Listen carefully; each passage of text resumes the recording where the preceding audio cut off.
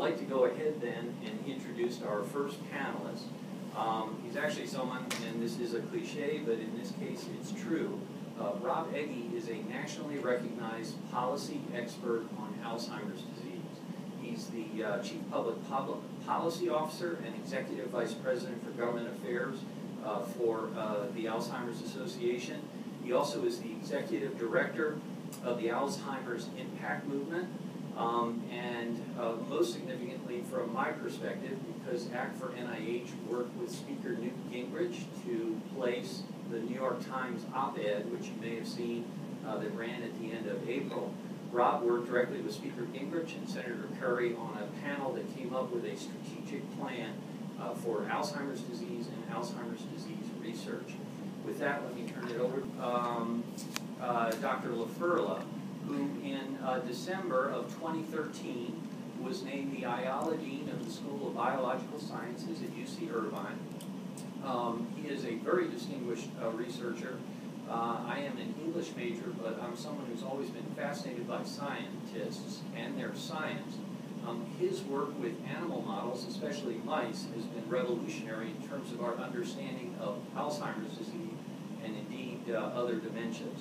I also have to mention he has a doctorate from the University of Minnesota, but his bachelor's comes from St. Joe's University in Philadelphia, which is actually where my grandfather graduated. So with that, and forgive me for getting things out of order, uh, off we go. So uh, thank you. It's a great honor to uh, be here, and I really want to thank Kathy Eiler for helping uh, put this together. So I'll, I'll, be about 10 minutes or so, and I just want to give everyone in this room a little bit of an introduction about Alzheimer's disease just to make sure that we're on the same page.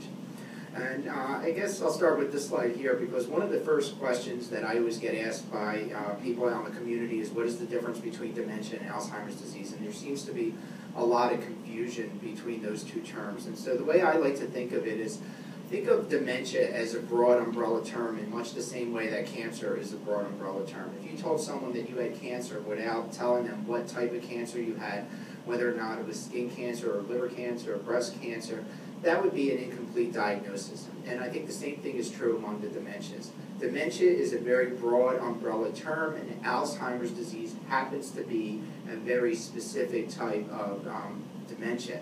And now that's important because as you can uh, extrapolate from the different types of cancers, if you were a man and you had testicular cancer, you would not want a drug that was used to treat breast cancer. And that's a very obvious example. We've realized that it's different tissues that are affected, different mechanisms of disease, and the same is true for the dementias. And so it's really important that we get uh, support and funding to really understand the different types of dementias because in some cases, drugs that are approved for Alzheimer's disease can make other types of dementias far worse. So this is a very confusing disease, when you, particularly when you go out and uh, try to talk to the lay community. Uh, people really don't understand what it means to uh, that profound sense of memory loss. And people worry they misplaced their keys, that somehow that that means they have Alzheimer's disease. And so in, in general, I always tell people that if you go out and you forget where you park your car in a mall, that is normal. That happens to almost every single one of us. So many things impact your memory, including whether or not you had a good night's sleep, if you had too much to drink. Uh, but if you forget that you actually drove your car to the mall, then that's a little bit uh, more extreme. So to try to um, give a good overview of the type of um, uh, memory issues, there was a HBO uh, documentary that came out several years ago. It was actually quite good. They came to UC Irvine to film a little bit of this, as well as other universities throughout the um, country. And in this video, you'll see three women at different stages of the disease process. The first woman is the most extreme, uh, so extreme that she's looking at her own reflection in the mirror and doesn't realize that she's even, that she's talking to herself. And I think it really indicates uh, how devastating this disorder can be. Uh, the second woman is shown a picture of Bill Clinton, and despite very heavy prompting, is unable to identify the former president, and we always joke that she was the Republican of the group. And the third individual just received the diagnosis of Alzheimer's disease and, and loses her driver's license. And she just says something that I, I, I think uh, really sums up what this disease is about for the elderly. So I, I hope you find this as fascinating as uh, I do. She looks like you. No, I think she looked like you. she didn't say anything to me. Maybe it takes her time to say something. Oh, I don't know. I'm tired of talking to her through the window. You want to meet her face to face? No, no. Not I told her many the time, be at your door and I'll be at my door. Mm-hmm. And you know, she had me wait there and she never came out.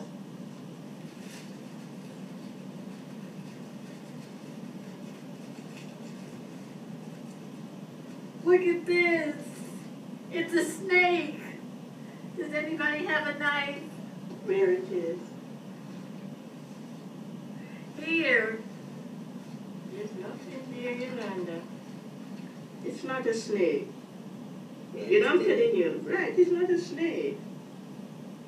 You try to make everything simple, but you can't.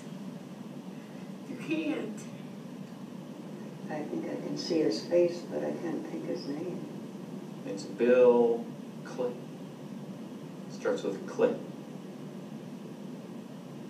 Not common, huh? Right. Okay. Really, what you all are telling me is that I have lost my independence. So you can see that what we're trying to do here, I think all of the panelists, we're all on the same page here, is that we're asking for support just to make sure that Alzheimer's does not become our reward for living a very long and uh, prosperous life. Now, if you look at some of the risk factors for Alzheimer's disease, age is the most uh, significant, and I'll spend a little bit of time uh, talking about that a little later. Uh, but there are other ones. So, for example, we know that there are certain genes, and family history is very important if uh, uh, determining whether or not you're likely to get Alzheimer's disease. Particularly if your mother has Alzheimer's disease, that increases your odds uh, significantly more than if your father had it. And the reason for that is that all of us inherit our mitochondria from our mom. Uh, we know that head trauma is quite significant. As a matter of fact, if you play football in the National Football League, you have about a 19-fold higher shot of developing uh, dementia. Same thing is true if you play uh, hockey. Almost everyone with Down syndrome goes on to develop Alzheimer's disease by the time they're in their 50s and 60s. Um, the lower your education level, the uh, higher your chances are. Uh, also, we know that obesity is a major risk factor, likewise having high uh, cholesterol, which suggests that certain diet and environmental factors play a role. And also, we now appreciate the impact that uh, stress can have. So just to illustrate how um, important age is, you can see from this slide that one out of every uh, 20 people over the age of 65 suffers from Alzheimer's disease. That's 5% of the population over 65. And what's astounding is that number doubles every five years thereafter. So you're talking one out of 10 people over 70, one out of five people over 75, and one out of two to three people over the age of 80 to 85. So essentially, half of the population over the age of 85 suffers from Alzheimer's disease. And in the United States, that's translating to a new case of Alzheimer's disease developing every 67 seconds. Couple years ago, a new case was developing every 69 seconds, and at present, uh, at least according to the association, the last uh, values that we have are about a uh, new case every 67 seconds. So essentially, every minute, someone in this country is developing the disease. And right now, we estimate that there are over 5.3 million Americans, and I think Robert's going to go through and talk a lot more about uh, these statistics. But uh, look at the, uh, if you're not uh, motivated by the um, what's happening on the humanitarian side, look at the economic side. And right now, it costs about $203 billion to care for Alzheimer's patients. Um, that number will go up to over $1.2 trillion by the middle of the century, which will represent a significant fraction of the U.S. budget. So it's going to be very difficult for us to imagine how, as a country, we will be able to um, uh, do uh, fulfill any of our obligations when we have um, such a looming burden to deal with with Alzheimer's disease. So uh, one of the most uh, uh, topical research questions is to try to understand when Alzheimer's disease begins. And what we know is that it almost certainly does not begin the day before you go into your doctor's office and get a diagnosis. As a matter of fact, we now as a field believe that uh, the disease probably begins decades before your initial diagnosis. And that is both good news and bad news. It's good news because it gives us a very long window to try to intervene. The bad news is that we need a lot more research to really uh, identify with precision when those individuals will get, uh, which of those individuals will get Alzheimer's disease and when. And of course, we need to have some kind of therapies and interventions to help those individuals.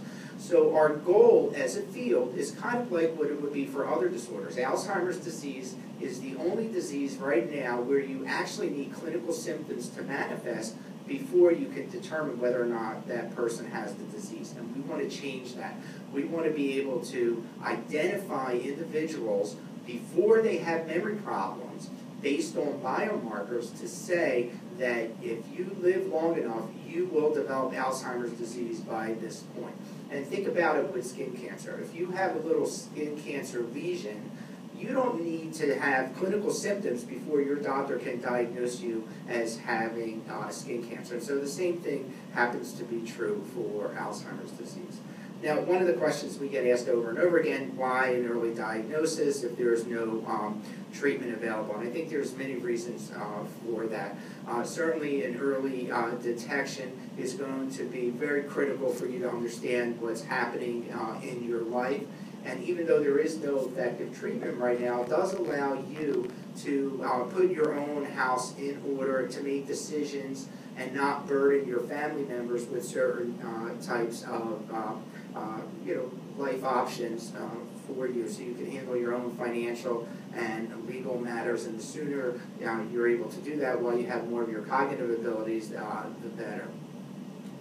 Now, I want to uh, shift gears a little bit and talk about uh, clinical trials, and uh, because ultimately a cure for Alzheimer's disease will only come by through uh, going through clinical trials. And so there was an interesting study done um, a couple years ago where scientists analyzed uh, several phase three clinical trials that happened to be funded by the NINDS over a 10 year uh, time period. And what he found was that the cost of those trials, and these are not cheap to do, was about $335 million.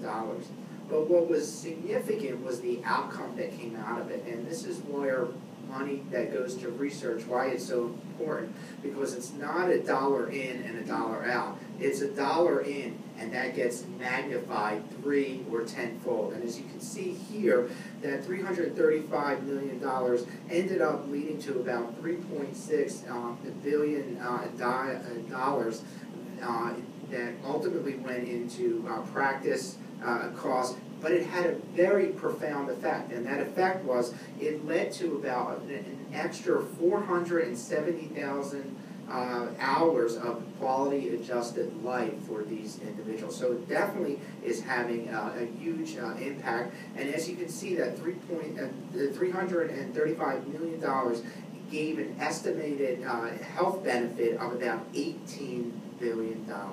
And so it's very important that we conduct these clinical trials, uh, particularly for Alzheimer's disease, the better success we have in uh, preventing these kind of memory problems, the higher the quality of life, and ultimately we'll be able to reduce the medical costs for other um, diseases. Now, the sad reality is that if you look at the clinical trials for Alzheimer's disease, and this is a study that was published a couple of years ago looking at both phase one, two, and three, what you can see is that as a field, uh, there have been over 400 failed clinical trials. Now, what this means from my perspective is that we should not give up and we have to continue moving forward. And that also means we need to invest more money in research, uh, not less, because it's clear that the only way that we're going to be able to derail this issue is through uh, research. Now, I, I, it's important. A lot of times people get confused between what you know what this means, and I want to uh, indicate there is a profound difference between a failed drug and a failed trial.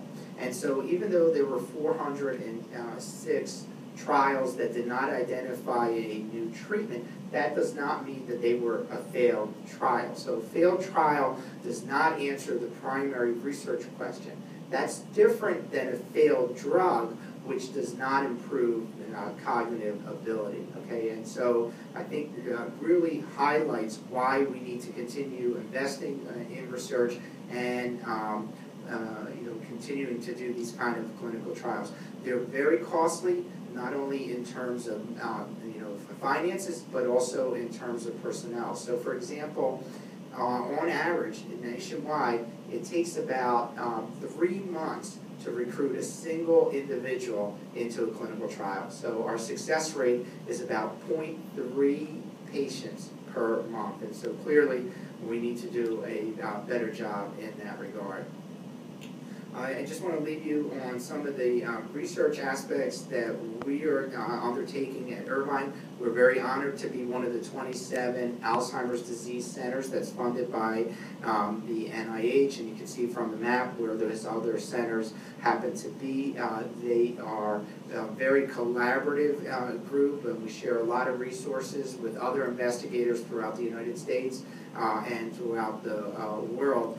And uh, I just want to call your attention to uh, some of the ways in which uh, uh, we uh, study Alzheimer's disease at Irvine, and that is do a lot of lab-based work, either involving uh, human, uh, sorry, involving animal models or human samples, mainly brain samples, but also CSF, so that we can conduct molecular and cellular studies there. And we happen to have some very unique patient populations. So we have the largest uh, group of uh, adults with Down syndrome that go on to develop uh, full-blown Alzheimer's disease. And we also study uh, the oldest old and have the largest collection of individuals that are over uh, 90 years of age. And we collect brains from each of those individuals, and all of them like to say that they're donating to us their most precious resource, which is their brain.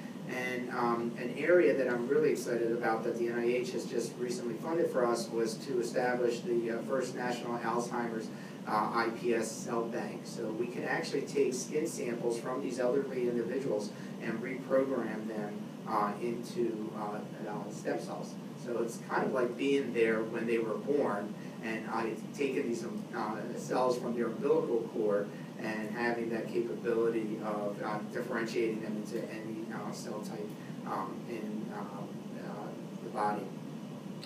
Uh, and uh, this is my last slide. I am really appreciative to the NIH for starting this BRAIN initiative, which stands for Brain Research for Advancing Innovative Neurotechnologies. This is something that President Obama has been very passionate about, and he uh, described in February 2013. Uh, the state of California came up with their own initiative called CalBrain, and the goal of these um, uh, initiatives are to identify new technologies so that we could really understand how the brain is uh, better connected and so that ultimately we can find a cure and treatment for Alzheimer's disease. So thank you very much and I will pass on the baton to the next speaker. Great, uh, so Rob, please go ahead. We'll, uh, save questions until the end, uh, but, uh, obviously we're most interested in hearing what's on your mind. Thank you. And I'm gonna uh, bring this back to the start.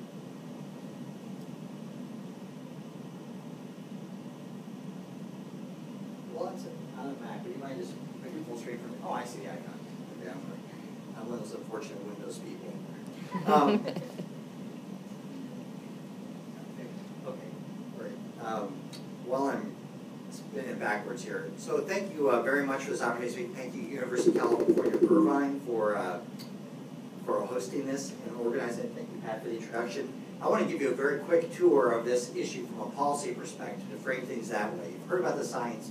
You're going to hear from Le- Leah about um, the uh, importance of what this means in terms of Americans around uh, the country. Here it is from a policy perspective. I'll start with this point that you have heard already, but it's a way to ground ourselves. Alzheimer's disease is a disease that unfortunately has the distinction of being one without any way to prevent, cure, or even slow its progression today. So we are still waiting for us, that celebration of the first Alzheimer's survivor. Um, when you look at where the trajectory is, if you look at those sixty-five and older, um, then it's five point one million estimate, Americans estimate today, five point three million if you already include those under sixty-five. And that will increase, we project, because aging is the largest risk factor for Alzheimer's, to thirteen point five million by mid-century. So clearly, with the bolus of the baby boomers and the, and uh, the fact that Americans are living longer, this is gonna increase dramatically in the years ahead. And as this has been described, this kind of demographic-based trajectory is baked into the cake of where we are as a country.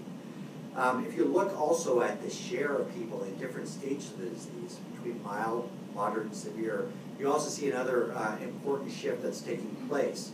If you look at the share that's in the mild or moderate stage, that will uh, retract to about half by mid-century, and that will lead that uh, more and more Americans in the severe stage, which is not, of course, first of all, um, very, very difficult from a human perspective. It's also very costly and intensive in terms of caregiving.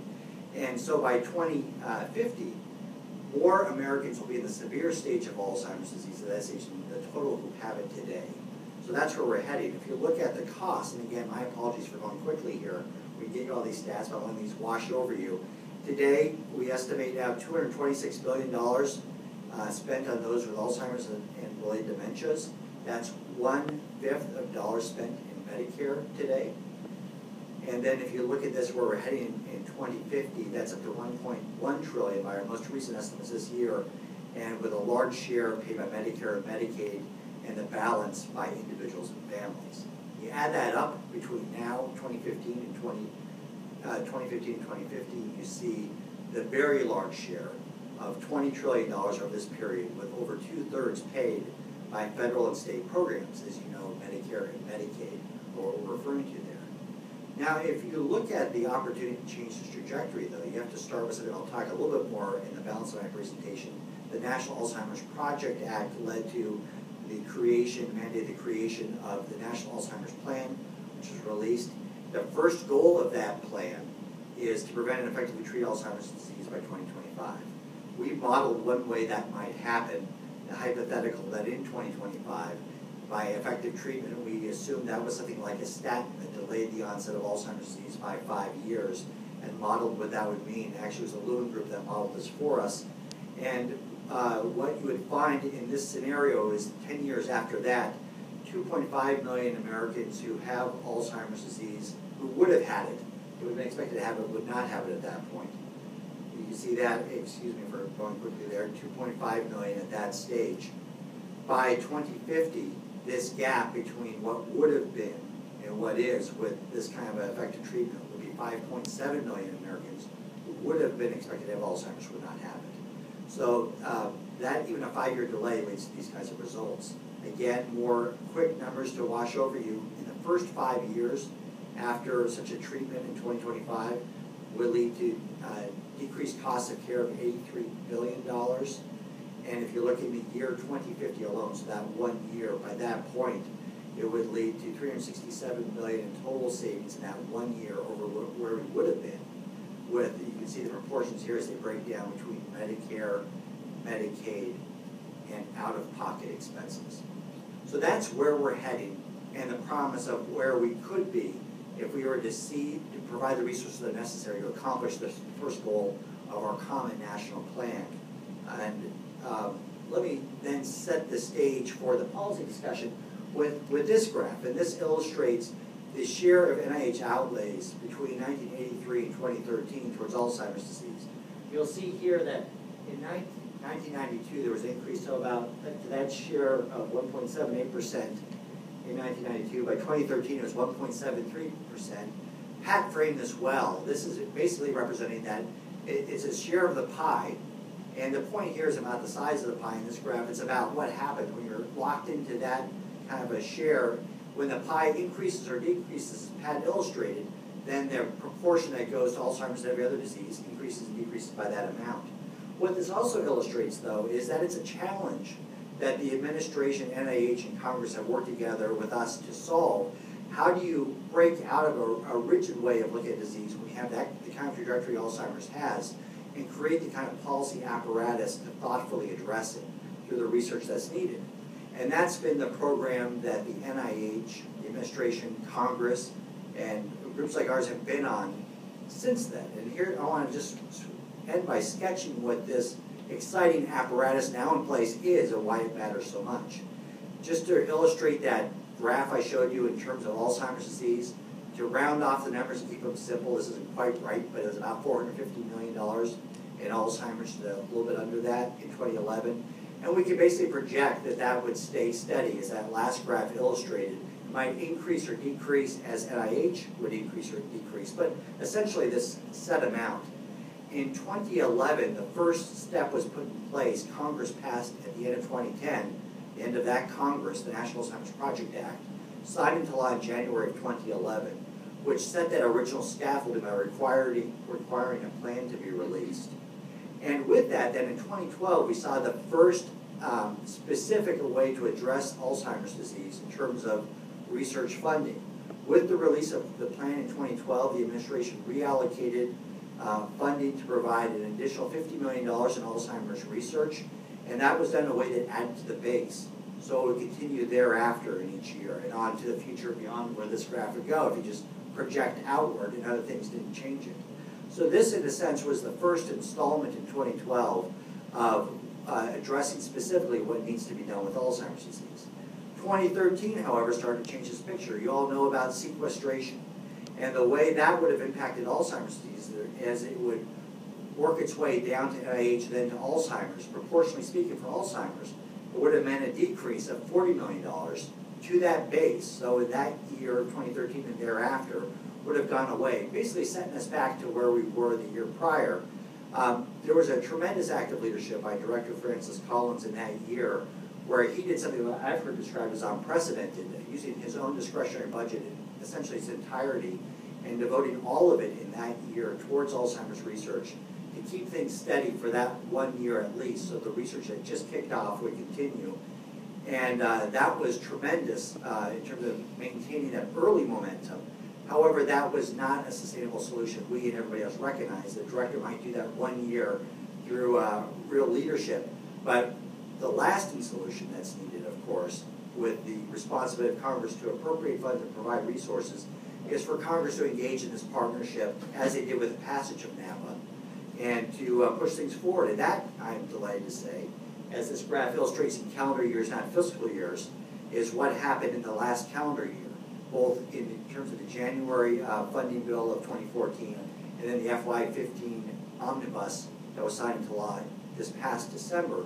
Between those two bills, $125 million was specifically allocated for Alzheimer's research to capitalize on the near-term research milestone steps that need to be funded to start to hit this goal by 2025 of addressing Alzheimer's. Now, we have projected that, um, let me just say a bit more. So that then is part of the base and will continue onward. And um, I have illustrated here that in 2014, two of many members of Congress in the House and the Senate who uh, made this happen, in this case, um, in the Senate side, two who stand out were then Chair of Labor, Labor HHS, Senator Harkin at the time, and ranking member at the time, Senator Moran, who exemplified the bipartisan way that Alzheimer's has been approached by uh, Congress uh, over recent years. So the question, though, is what happens next in the current calendar year and looking forward uh, with the FY16 funding that's now being contemplated and considered. And to frame up this question of what happens next, I'll wrap up with this. I'll look at the policy, again, in big picture terms that have been set up in the last few years, which is unique and powerful to address this issue. Uh, first was the passage of NAPA, which I've described, leading to the release of the plan in 2012. That has led to a three-part process. First of all, the NIH and NIA specifically have convened international researchers from around the world, and particularly in the United States, to come together and outline research milestones that are needed year by year to hit the 2025 goal. So there's specificity here you'll rarely see in terms of those year-by-year -year achievements that need to be accomplished. And this, of course, then has to lead to a budget, ideally, and then to appropriations falling on that budget. And that leads to uh, the last thing to highlight, what refer to as AAA, the Alzheimer's Accountability Act. This was legislation that Congress, um, some of the offices in this, in this room were uh, tremendously uh, helpful in building momentum behind. It was incorporated into the FY15 funding bill and enacted through that mechanism in December this year. It's now law. And what the Alzheimer's Accountability Act does is it really completes this picture started by NAPA. And what it requires is that the NIH prepare annually a professional judgment budget that answers the specific question of what's needed in the coming year to, in terms of the funding for Alzheimer's research to stay on track to hit this 2025 goal. So it's very specific in what it requires and it asks for. And it empowers NIH to do just that, to, to provide this professional judgment budget to inform the budget. And like other professional judgment budgets, what it does is that this budget must be submitted directly from NIH, from Director Francis Collins, as the legislation directs the director to do, uh, directly to the White House and to Congress concurrently, with an opportunity for comment from the Secretary of HHS uh, and from a mechanism called the Alzheimer's Advisory Council, uh, directly uh, then in terms of what's needed. And the result, we hope and anticipate and are encouraged by the early steps, will be the targeted, thoughtful Alzheimer's research that's needed year by year to accomplish this very, very important goal. Um, I know I went at a very rapid, rapid pace, so I won't ask for any quizzes on the numbers I put forward, but you know that between us, we'll be happy to answer any questions you have about these statistics and facts. Thank you. So our uh, next panelist, Leah Drew, is a Chicago native uh, and moved here to DC in 2013. She became deeply involved in the work of the Alzheimer's Association following her mother's diagnosis with this dread disease. Um, uh, she has uh, distinguished herself as an advocate both uh, in DC but uh, nationally ever since. Um, she uh, also has had a very interesting professional career. Um, she's a graduate of Bates College and holds two master's degrees. But um, uh, we should have bonded over the fact that she's going to run the Marine Corps Marathon this fall. I've actually run six. So, um, Leah.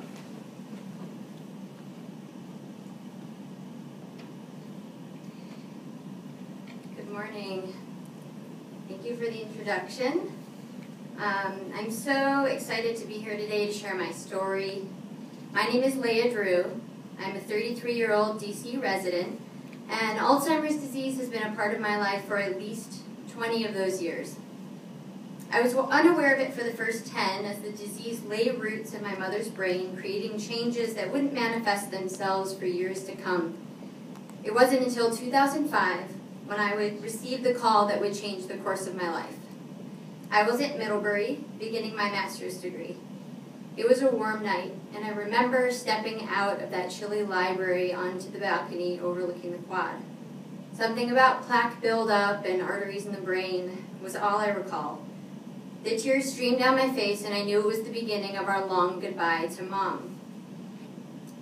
I come here today as an advocate for all those touched by this disease the 15 million caregivers providing unpaid support, the family members tested financially and emotionally day after day as Alzheimer's works its course, but most importantly, for those living with Alzheimer's disease who cannot speak for themselves.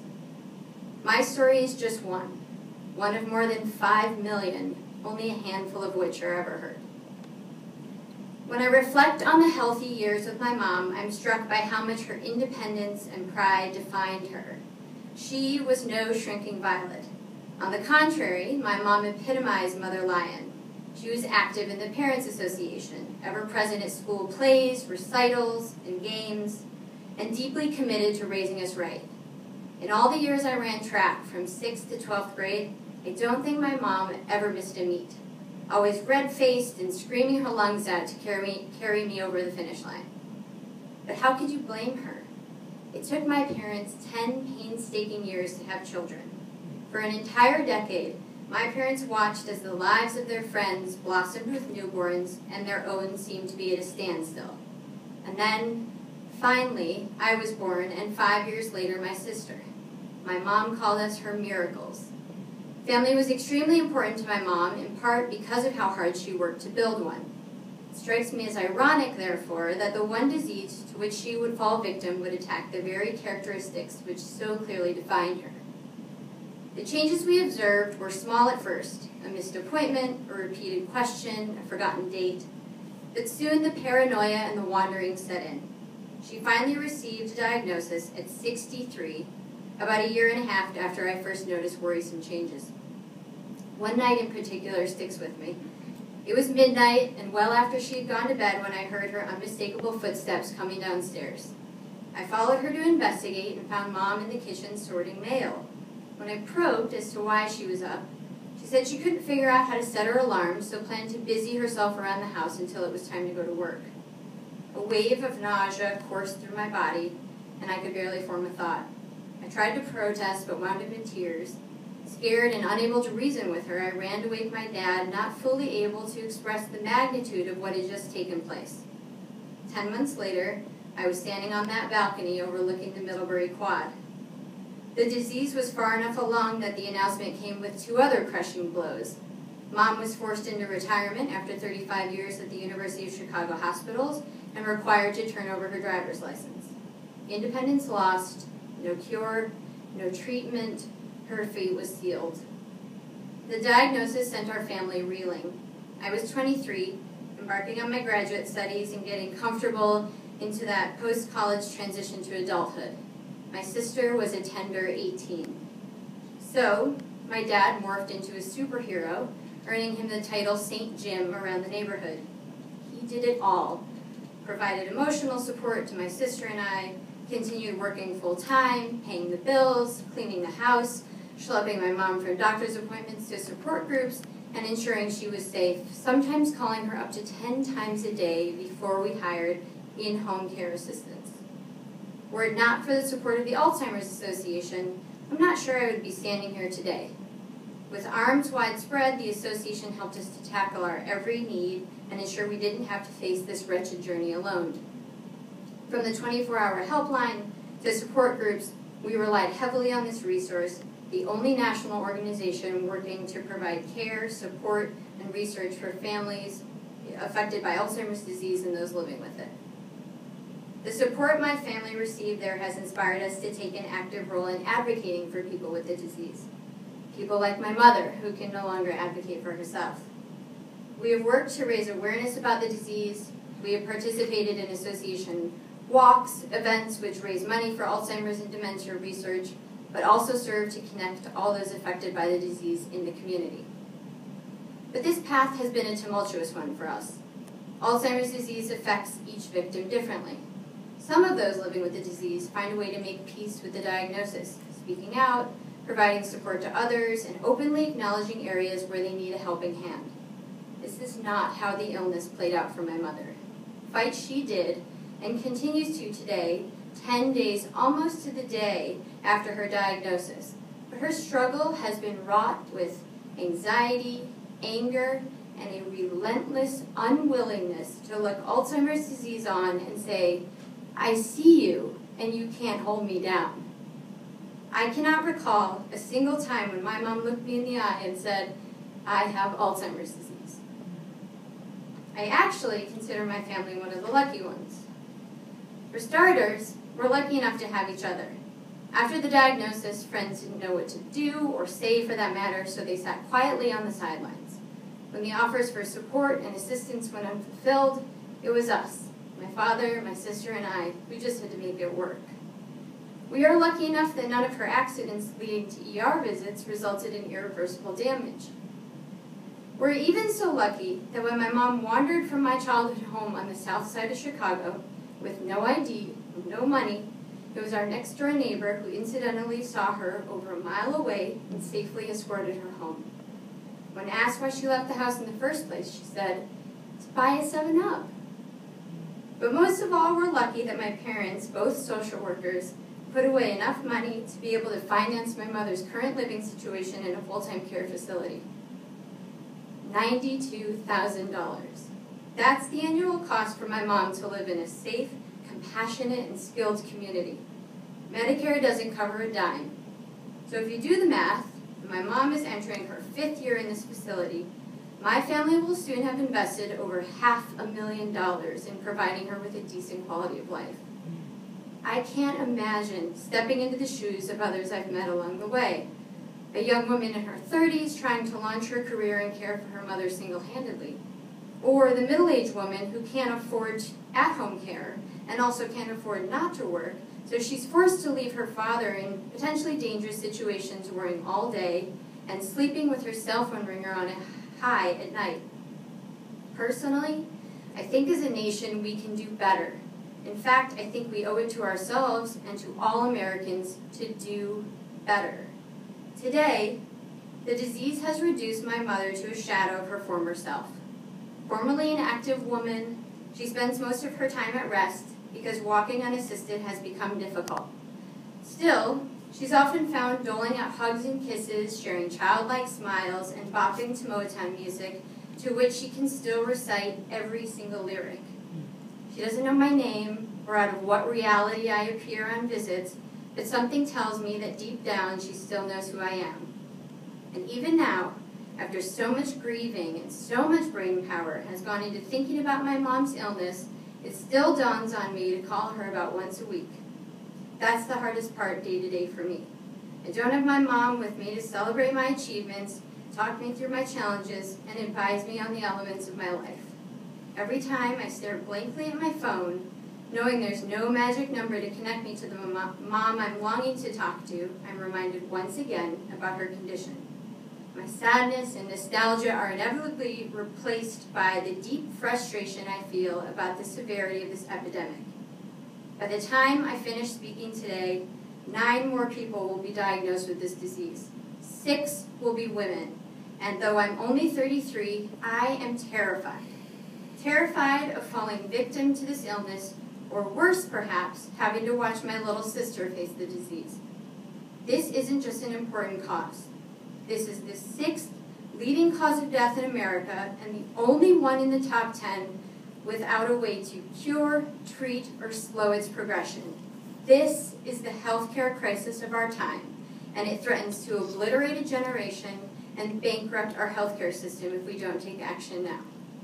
I hope my story will help to put a face on this disease, but please remember my face is one of millions. Thank you.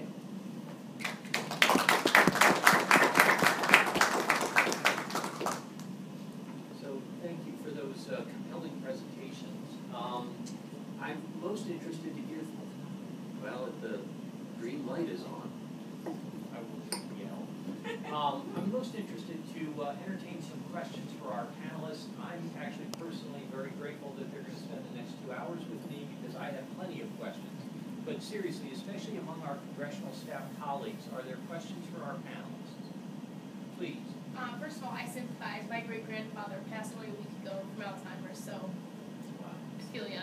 But um, my question is, I'm from the Coalition of Imaging and Bioengineering Research. Uh, especially to you, um, how do you feel imaging is going to play a role, especially interventionally with this disease? Um, so imaging is already playing an important role right now, um, and in two ways. And there are two different types of modalities. There's MRI and PET scans. And so um, there's a lot of active research that's being uh, done right now to bind to two of the hallmark features of the disease. So it turns out that Dr. Alzheimer's himself who was a psychiatrist that um, was around in the early um, 1900s identified the signature features of this disease, which he referred to as uh, plaques and tangles. And so there is a lot of work being done right now to come up with specific ligands that can bind to either plaques and tangles. And, um, and that is being used right now in research, and that's helping to identify that the disease actually, or that these um, you know, uh, structures and uh, changes start to occur in the brain decades before the individual actually develops um, memory impairments. Yeah, so. Any other questions? Please. Um, hi, I'm Beth O'Connor, Senator Durbin. Um, so thank you so much for sharing your story. Um, I, I've heard from a number of advocates in the state, and it's really powerful to hear this. Um, I have a question for you. There seem to be new blood tests, um, and I guess it's for anybody, blood tests that would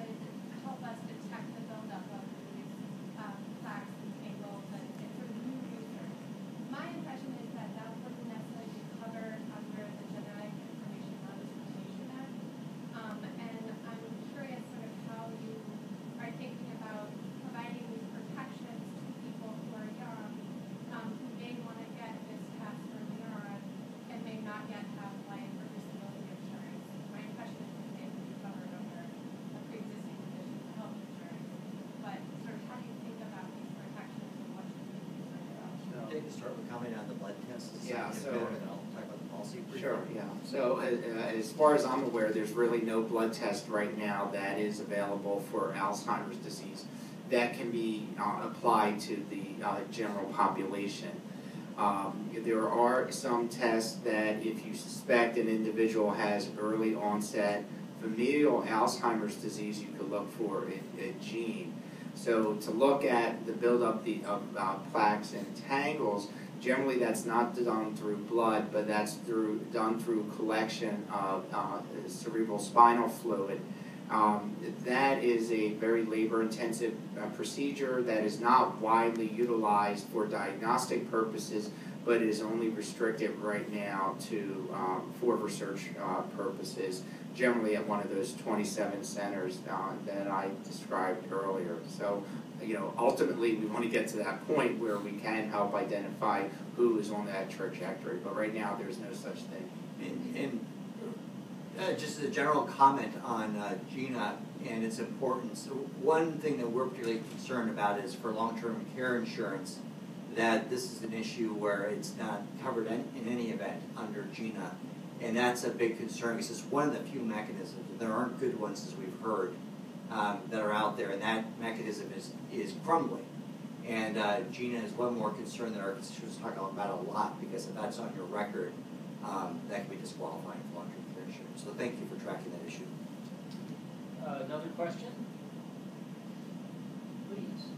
Um, I'm just curious what you consider the main, I mean, why is this so hard, right? We talked about the funding and how what a drop in the budget there is for Alzheimer's research compared to HIV and AIDS or cancer, but what are some of the, the bigger, the other challenges besides needing more money in terms of figuring out why this is happening, how to prevent it, how to cure it? And then secondly, you know, we're hearing a lot more, um, from Leah and others on early onset, uh, Alzheimer's and early dementia. And I'm just curious if those numbers are actually really going up compared to a decade or two ago, or whether they're just the diagnosis has become more definitive and we're learning about them at an earlier stage. So with regard to the first, the brain is perhaps the most complicated, um, you know, structure uh, in the entire universe that we know, right? There's over 100 billion neurons in our brain that make over 100 trillion uh, connections, right?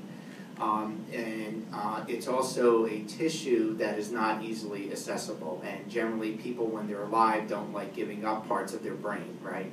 So it's not the kind of, it's not like your skin or liver or other types of tissue that you could get uh, access to quite readily. So there's an inherent, um, you know, disability or a disadvantage in terms of access to the tissue, coupled to the fact that there's so much uh, complexity. So I think that's a significant issue. Uh, also, um, if you look at the end stage of an Alzheimer's disease brain and um, think about it and uh, how much destruction occurs, if a normal brain weighs about three pounds, at the end of a disease process, an Alzheimer's brain can weigh one and a half to two pounds. So it just shows you how much uh, destruction occurs there. And uh, it's a very complicated pr- process. And unfortunately, research is very costly. And what uh, at least the NIA director has said when he comes to the to the uh, direct, uh, Alzheimer's directors meetings is that the funding uh, has dropped so precipitously over the past decade that we essentially undoubled the doubling of the NIH budget that occurred under the Clinton years. So we definitely need new, I think, in- investments, and I, I was personally pleased to see Newt Gingrich write a piece in the New York Times calling for a doubling of the NIH budget. I actually think it would be better to triple the NIH budget, um, because, you know, one of the problems that we are seeing is that Americans don't want to go to graduate school anymore, nor do they want to do postdocs. Uh, and we have lost a generation of American scientists, which I think will take a long time to recover from because they have been really spooked away by the drop in the um, you know uh, funding, and they're seeing uh, successful grants uh, not get funded. And when you have a pay line at the NIH that is at nine percent I don't, you know, and I was on NIH study panel for over ten years. I don't know how you distinguish a nine percent grant from a ten percent grant. And what's happening is there's a lot of great science that is going unfunded and uh, a lot of wonderful innovation. And it seems as though for every dollar that's spent at the NIH, it has an economic impact of about three dollars. So you get three times the value for what you put in. So it just uh, is not clear to me why this would uh, not be an, an, an area where a lot more funding will be attracted. If you want to add anything? I'll just, you know, quick comment about the other part of your question about uh, under sixty-five, and Leah, perhaps you'd like to say something about this too, but for those like Leah's mom, and if you saw Still Alice, as I did again this past weekend, um, we know that cohort, we don't know much about that cohort, because the observational stu- studies we rely on for overall prevalence are for sixty-five and older. But we estimate, our best indications are it's about two hundred thousand Americans, which if you just took that as a zone disease hypothetically, and just thought of it that way, would itself be a major, major disease, and that's just those under sixty-five. So uh, we're supposed to wrap up now. I would like to uh, exercise the moderator's uh, prerogative uh, and ask each of our panelists a question that basically um, I'd like to try and leave with some sense of hope. We've heard how difficult the science is. We've heard about the appalling, the immeasurable human uh, cost and suffering associated with this. And uh, Rob has sketched out what it's going to cost our country. What I'd like to ask each of our panelists is, if adequate funding is made the, or, or made available in the research arena, in the patient care arena, and in the policy arena, what is the one thing you do, what would you like to see us as a nation do to address this terrible disease? Let me start with Frank.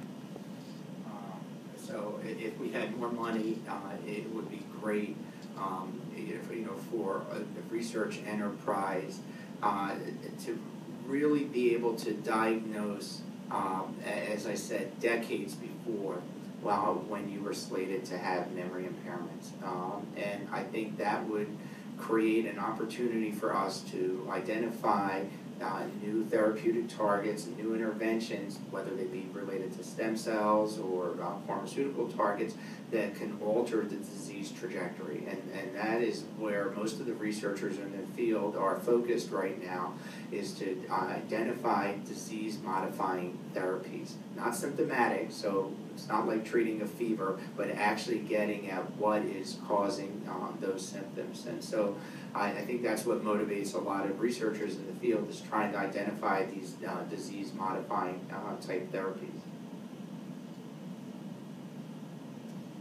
So it's hard for me to think beyond finding a cure, just having met so many people touched by this disease and having gone through this myself. But from a patient care perspective, if we had more funding, I would want there to be more specific training on how to communicate with and treat um, those living with Alzheimer's disease in hospital situations, whether it's a doctor's appointment or in the ER.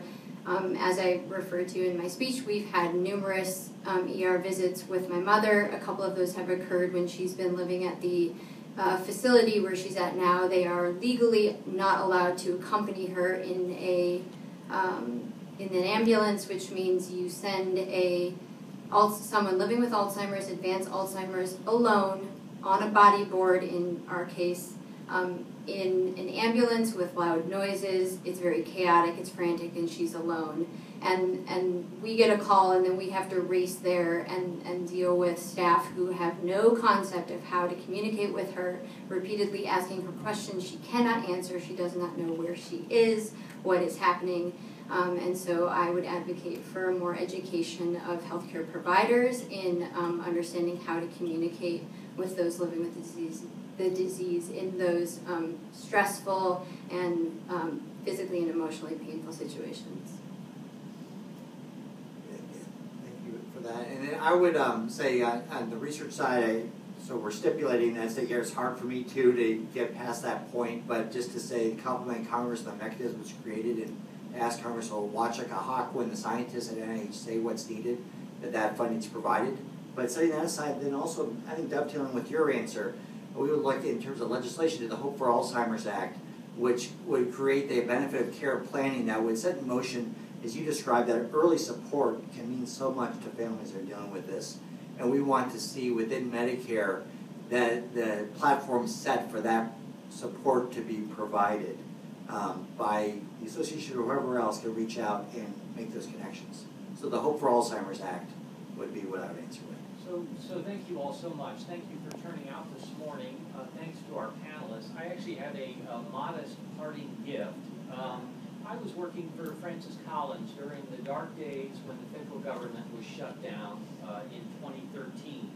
This was at a time when basically the campus was empty. Uh, there were about eight of us uh, basically trying to run the agency. Uh, normally there are as many as 18,000 people on campus. And most disturbingly, we were actually turning children uh, uh, away from clinical trials at the NIH Clinical Center. Francis Collins uh, was deeply upset about this, and he determined that he wanted to have a symbol about what NIH is about. He's a very accomplished guitarist, as many of you know, and we started hand making guitar picks that said Hope at NIH. And after all, that's what brought all of us here today. That's what uh, trying to fight this awful disease is about, and that's why the research and the funding to support it is so important. So please, uh, take this modest gift from me, uh, and know that, uh, what this is all about is hope. Uh, and again, thank you so much for being here this morning.